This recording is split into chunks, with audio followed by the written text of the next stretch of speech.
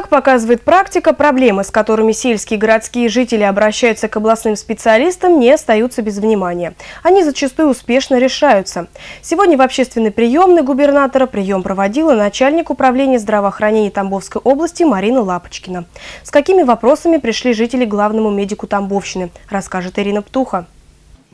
График приема врачей узкой специальности, установление группы инвалидности, получение льготных лекарств. Вопросов в области медицины, как и в любой другой сфере, у рассказовцев множество. Каждый приходит сюда с надеждой, что выслушают, поймут и помогут. По причине обострения болезни Валентине Николаевне полагается санаторно-курортное лечение. Женщина уже стоит в очереди на получение путевки, но переживает, что это может затянуться надолго. Я хотела попасть в санаторий. И опять никаких результатов, потому что что вот сейчас они мне опять поставят пятитысячные, и я опять никуда не могу попасть. Единственное, что мы э, бывает так, что вот, например, да, э, выделяются путевки, а кто-то отказывается. Вот тогда может э, связаться там соцзащита. Ну, две, мы вас включили в реестр, то есть вы продолжаете стоять. Вы в 2012 году у нас не были на Санкуре. Управление наше занимается этим вопросом, и очередь это вся продолжается.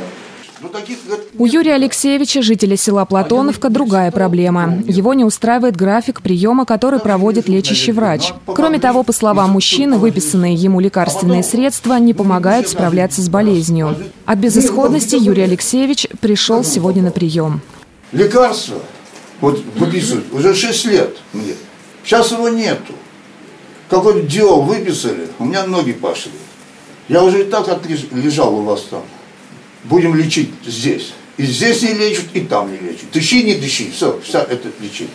Этот вопрос Марина Лапочкина взяла под личный контроль. Кроме того, Юрию Алексеевичу была предложена помощь в выписке направления на прием к московским докторам. Ни одна проблема сегодня не была оставлена без внимания. Некоторые вопросы решались практически на месте. Остальные обязательно будут изучены и в скором времени должны быть решены, заверяют специалисты. Вообще здравоохранение города Рассказово и Рассказского района меня устраивает, мне оно нравится. И здесь работают э, руководители, вот вы знаете, очень беспокойные и понимающие задачи, которые, вот, которые стоят перед нашей отраслью, мы всегда работаем с ними вот в таком конструктиве, что, в общем-то, вот у меня нет никаких проблем э, при работе с со здравоохранением города Рассказово, Рассказского района. Работа в рамках модернизации программы здравоохранения в области продолжится и дальше, говорит Марина Лапочкина. Впереди много планов и задач, которые обязательно будут воплощаться в жизнь.